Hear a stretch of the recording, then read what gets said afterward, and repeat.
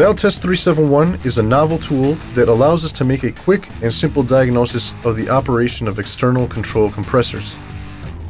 ValTest 371 is used to determine the state of the valve, whether the coil is in short circuit or in open circuit, the operation of the electronics of the vehicle and the compression of the compressor. ValTest was designed to be easily used by technicians who regularly work with air conditioning systems of vehicles.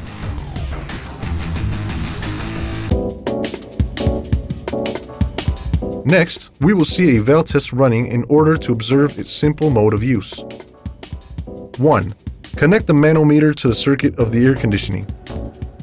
2.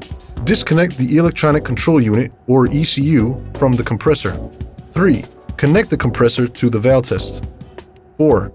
Connect the electronic control unit output to the ValTest. 5. Turn on the ValTest and verify the state of the valve. Short circuit or open circuit. Turn off the ValTest. 6. Ignite the vehicle. Turn on the air conditioning and turn on the ValTest. Verify the pressures reducing and increasing the signal by using the plus sign and the minus sign in the tool. ValTest 371 internally generates a charge that is similar to the charge that the valve generates on the compressor, so that the electronic control unit, or ECU, of the vehicle reads that the compressor is connected. In this way, error codes in the vehicle are avoided.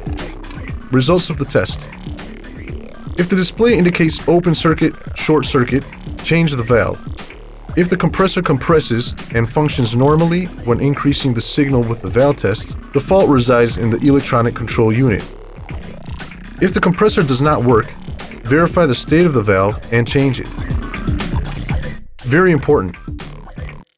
ValTest is not prone to getting damaged if it is connected with reverse polarity, as it has an electric protection system for reverse polarity. Technical specifications to take into account. Power supply, 12 volts. Maximum current, 3 ampere. 5 levels of compression mechanisms with a backlit screen.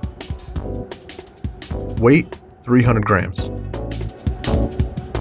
It includes ValTest 371, cable for the 12 volt connection of the vehicle, cable to connect the compressor to the tool, cable to connect the electronic control unit or ECU to the tool,